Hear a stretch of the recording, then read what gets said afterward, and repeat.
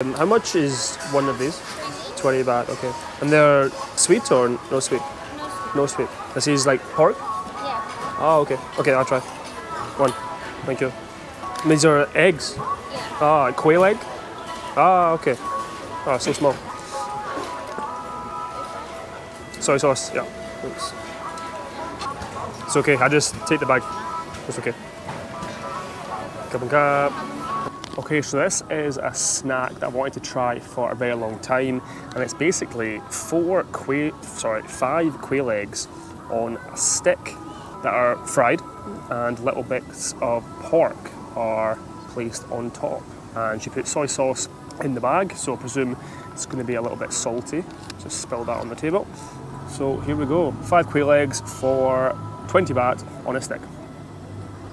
Mm. Oh man, that is good.